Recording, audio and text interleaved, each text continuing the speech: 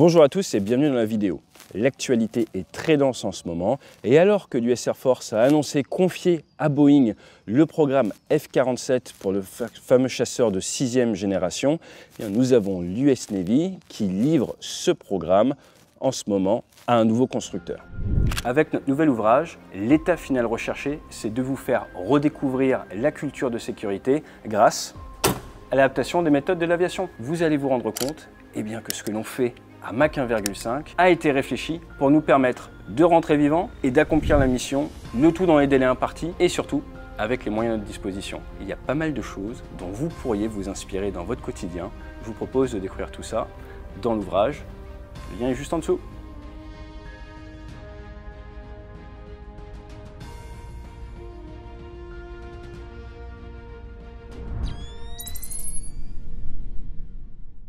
Avant de rentrer dans le détail, ce que je vous propose, c'est de se mettre à la place de l'US Navy quelques minutes et d'essayer de comprendre quelle est leur problématique et quelle est du coup la base du cahier des charges de ce chasseur de sixième génération qui devra pouvoir opérer depuis les super porte-avions américains, super porte-avions de la nouvelle classe Ford qui pèse plus de 100 000 tonnes, là où le Charles de Gaulle français pèse environ actuellement 40 000 tonnes. Et pour ce faire, il faut comprendre qu'elle est à l'heure actuelle un des plus gros dangers intellectualisés par l'US Navy à son encontre.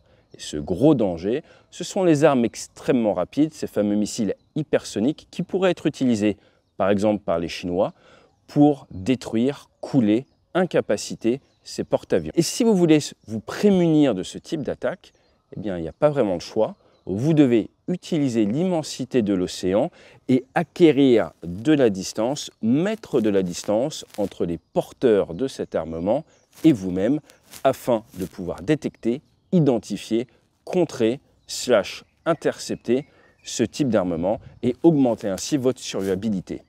Vous l'aurez donc compris, un des atouts principaux que l'US Navy va chercher sur ce remplaçant du Super Hornet, c'est l'autonomie, car l'US Navy va être contrainte à éloigner ses groupes aéronavals de la menace. Il va donc falloir plus d'autonomie pour pouvoir impacter le champ de bataille, pour pouvoir se rendre sur la zone de conflit. Ça, c'est le premier pilier, cette capacité à avoir plus d'allonge.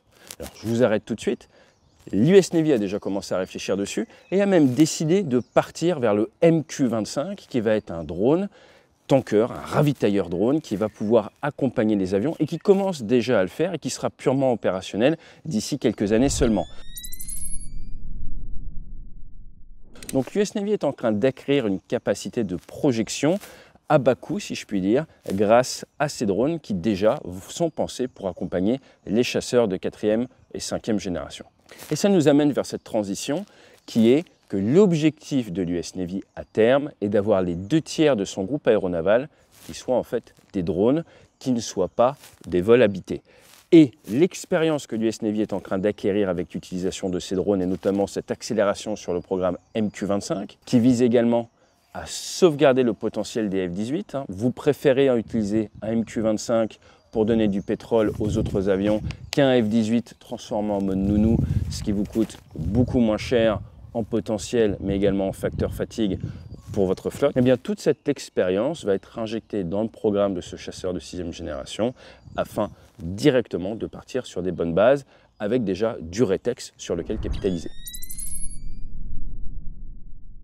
Le troisième point, c'est cette volonté, alors contrairement à l'Air Force qui est vraiment à la recherche d'un chasseur de supériorité aérienne, un F-47, un fighter, il y en a, c'est de partir directement plutôt d'un omni-rôle, un F/A. F pour fighter, A pour l'attaque au sol.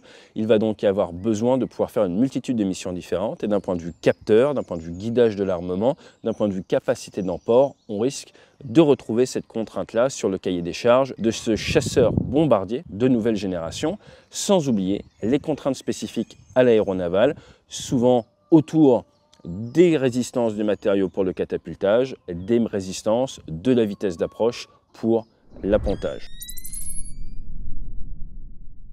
Quatrième point important, comme vous le savez, ils vont remplacer les Super Hornets, mais les Super Hornets existent également dans la version Growler, EA, électronique et attaque. Et forcément ce FAXX, on le sait tous, à terme, devra également proposer une version EA, électronique d'attaque, car c'est extrêmement important, surtout dans le champ de bataille de haute technologie que l'on connaît de nos jours.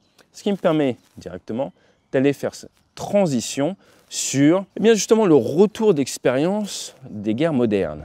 Et le gros champ de bataille réel de l'US Navy actuellement, vous le savez, c'est en mer Rouge. D'ailleurs, en ce moment, il y a pas mal de frappes depuis la Navy vers le Yémen. Et s'il y a bien une chose que les armées ont découverte, ou redécouverte, eh bien c'est la nécessité d'être extrêmement agile et d'adapter leur armement pour faire face aux nouvelles menaces, nouvelles menaces qui sont notamment les drones ou certains missiles de croisière. Et on a vu des F-18 se retrouver avec des configurations où ils sont suréquipés en termes de missiles RR et même on va en parler dans les prochains jours sur la chaîne, l'utilisation par l'US Air Force et par les F-16 de roquettes guidées laser pour intercepter et détruire missiles de croisière et drones. Et alors que tout le monde est en train de se focaliser sur les armes à l'énergie dirigée, sur des magnifiques PowerPoint avec peut-être des capacités qu'on aura en 2040-2045, il ne faut pas délaisser, il ne faut pas oublier qu'à l'heure actuelle, la grosse leçon que l'on a sur les différents conflits, eh bien, c'est la nécessité pour les armées occidentales de réussir à s'équiper pour faire face à des menaces qui coûtent que 20, 30 000 dollars, mais qui, envoyées de manière saturante, posent un problème dans nos défenses. Et même un chasseur de sixième génération, ces premières années, avant l'arrivée d'armes magiques, sera limité dans sa capacité d'emploi face à ce type de menaces. Les adversaires et la compétition a conscience de ça. Par exemple, pour en revenir aux Chinois, je vous rappelle qu'en 2025, ils ont décidé de lancer commande de 1 million de drones kamikazes suicides. 1 million, ce qui devrait nous amener à réfléchir sur nos capacités de production, que ce soit en France, en Europe ou même aux États-Unis. Je vous laisse avec un petit chiffre quand même toujours intéressant. Je vous rappelle qu'en 1945, les États-Unis ont fabriqué dans l'année près de 100 000 avions. Donc leur industrie avait accéléré. Oui, c'était des avions simples, mais quand vous fabriquez 100 000 avions en face, forcément, ça a tendance à impacter leur capacité. Aller vers la course à l'armement et la très haute technologie est indispensable pour ne pas être déclassé.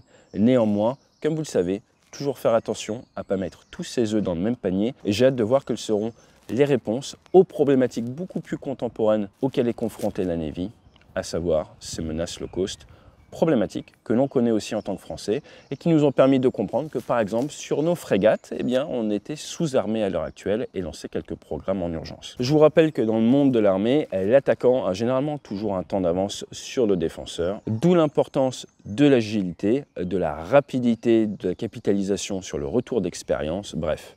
Vous connaissez tout ça. Et pour parler de retour d'expérience, eh comme vous le savez, on vient de sortir en avant-première notre prochain livre qui s'appelle Crash, ces accidents qui vous sauvent la vie. On vous met le lien juste en dessous. Si vous précommandez avant la mi-avril, on vous offre un petit patch FlySafe également.